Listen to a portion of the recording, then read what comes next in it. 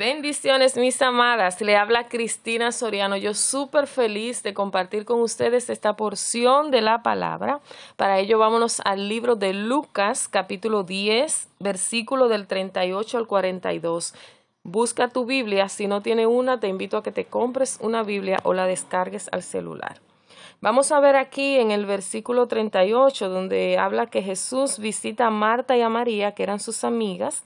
Ellas eran las hermanas de Lázaro, amigo de Jesús, al cual el Maestro resucitó. Dice que aconteció que yendo de camino entró en una aldea y una mujer llamada Marta le recibió en su casa. Ella tenía una hermana que se llamaba María, la cual sentándose a los pies de Jesús oía su palabra. Pero Marta se preocupaba con muchos quehaceres y acercándose dijo, Señor, ¿no te da cuidado que mi hermana me deje servir sola? Dile pues que me ayude. Respondiendo Jesús le dijo, Marta, Marta, afanada y turbada estás con muchas cosas, pero solo una es necesaria, y María ha escogido la buena parte, la cual no le será quitada. Si nos vamos al escenario de Marta, dice que ella estaba turbada y cargada con muchas cosas. Jesús llega a su casa sin avisar, no solamente llega a él, llega con más personas, algunos diez hombres o más, y Marta quiere servirle, quiere agradarle. Encima que le llegó de sorpresa, pero allá todas las cosas habían que hacerlas, no estaban ya hechas, había que matar los animales, había que buscar el agua, o sea, muchas, muchas cosas. Pero dice, sin embargo, que mientras Marta estaba cargada y preocupada con muchos quehaceres, ella fue donde Jesús y se quejó porque María lo que hizo fue, en vez de ayudarle, se fue a sentar a los pies de Jesús allá en la sala donde él estaba con las demás personas. Por eso Marta dice que fue y se acercó a él porque ella se sentía justificada. Vemos que ella ni siquiera va donde María, que pudo haberle dicho, María, ven a ayudarme. No, ella fue donde Jesús porque se sintió que Jesús le iba a apoyar en decirle, conchale, verdad, tú estás con muchas cosas mientras que María está aquí sentada. Sin embargo, Jesús la reprendió y la reprendió en amor en el versículo 41. Dice que respondiendo Jesús le dijo, Marta, Marta, afanada y turbada estás con muchas cosas. Eso fue lo que Jesús le dijo. Si nos vamos al original griego para entender esta traducción, ¿Qué es lo que Jesús le está diciendo? La palabra fana significa estar ansioso, tener una ansiedad excesiva que te distrae de lo importante. ¡Wow! Óigame, señores, ¿qué es lo que Jesús le está diciendo? Marta, Marta, te veo que tienes una ansiedad tan excesiva, estás tan cargada que te está distrayendo de lo que realmente es importante.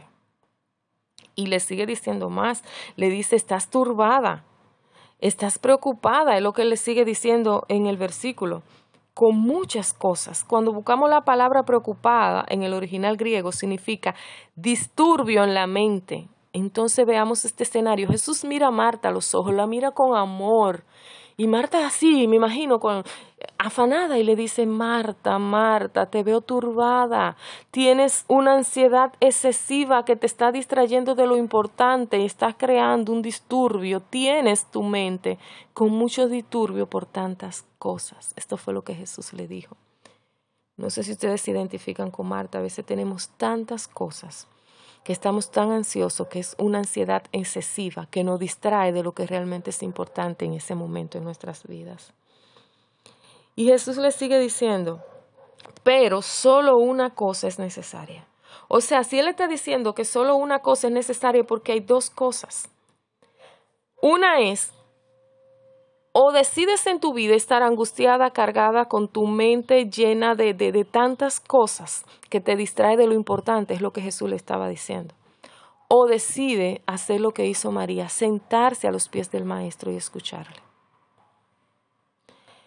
Señores, miren este escenario del punto de vista de María. Ya lo vimos del punto de vista de Marta. Del punto de vista de María, María dijo, el Señor está en mi casa. Y yo no voy a desaprovechar sus enseñanzas, yo no voy a desaprovechar su presencia por todo el oficio y todos los compromisos que yo tengo que hacer. Yo voy a soltar esto y me voy a postrar a sus pies.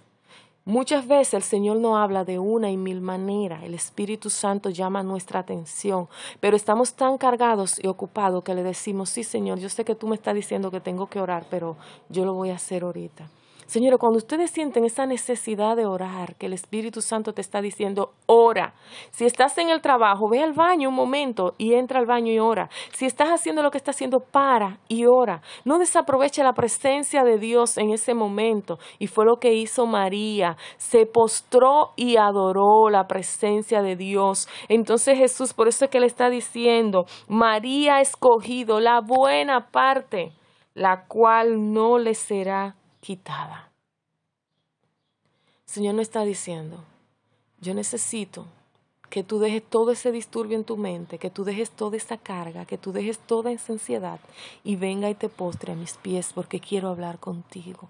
Ven, póstrate y adora porque en medio de la alabanza hay liberación, en medio de la alabanza las cadenas se rompen, en medio de la alabanza los muros caen, en medio de la alabanza el Señor habla contigo, te quita la depresión, te quita la ansiedad, dice la palabra, venid a mí todo lo que están cargados y cansados, que yo les haré descansar. Se está diciendo, Vengan a dónde? A Jesús. ¿Quiénes? Los que están cargados y cansados. ¿Qué hará Jesús con ellos? Los hará descansar. Y eso es lo que el Señor te está diciendo en esta mañana. La presencia de Dios te visita. La presencia de Dios te visita en esta hora. Póstrate y adora.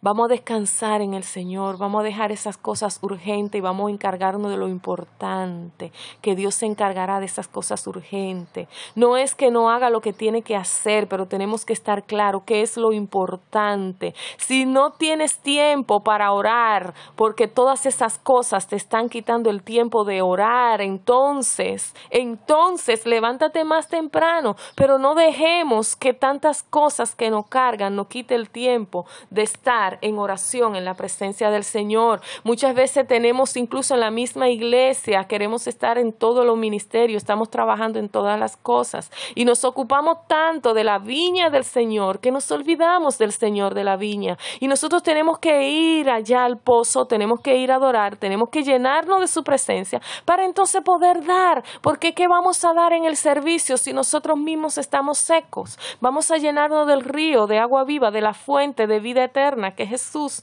Entonces vamos a llenarnos para poder dar, vamos a adorar en su presencia y vamos a descansar en los pies del Maestro. Vamos a escoger la mejor parte, dice, la cual no nos será quitada, aleluya, no nos será quitada. Vamos a adorar su presencia, vamos a descansar en el Señor y vamos a ver que nuestras vidas van a ser diferentes. Dios te bendiga en esta hora, en el nombre poderoso de Cristo Jesús. Amén y amén.